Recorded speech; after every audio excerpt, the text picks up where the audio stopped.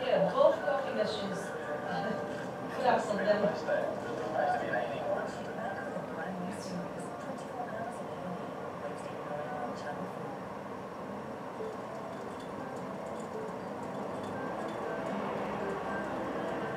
This is more for more. Come dine with me.